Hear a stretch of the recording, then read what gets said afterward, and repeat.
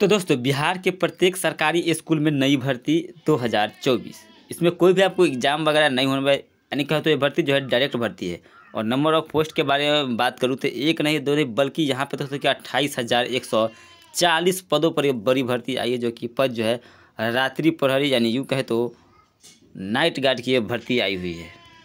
तो ये रहा पेपर कठिन, जो कि इसके बारे में दिया गया हिंदुस्तान पेपर में। क्या क्या दिया गया एक एक करके सारी जानकारी इस वीडियो में आपको देखने को मिलेगा। तो सबसे पहले यहाँ पे लिखा हुआ है कि अब सर, राज्य के अट्ठाईस हज़ार एक सौ चालीस स्कूल में होगी तैनाती। मध्य विद्यालयों में रात्रि प्रहरी की बहाली होगी।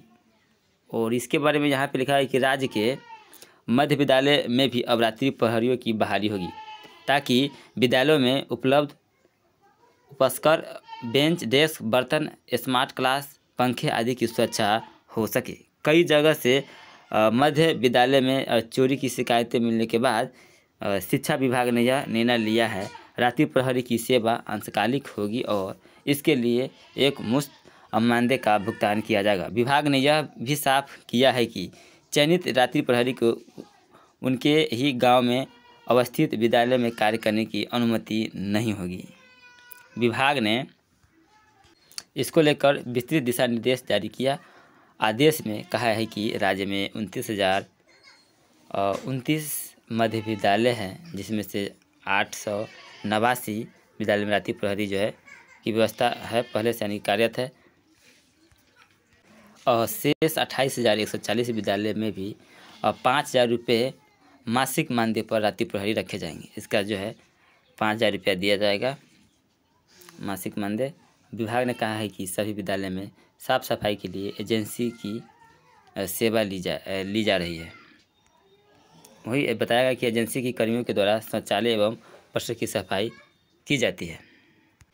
ऐसे में यह बेहतर होगा कि सफ़ाई कर्मी को ही उस विद्यालय के राति प्रहरी की जिम्मेवारी दी जाएगी।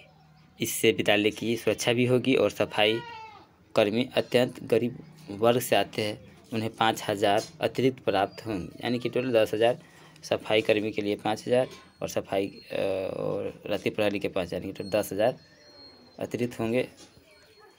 और विभाग ने यह भी कहा है कि माध्यान्ह मध्याह्न भोजन योजना के तहत कार्यरत पुरुष रसोइयों को भी रात्रि प्रहरी के रूप में कार्य करने की अनुमति प्रदान की जाती है।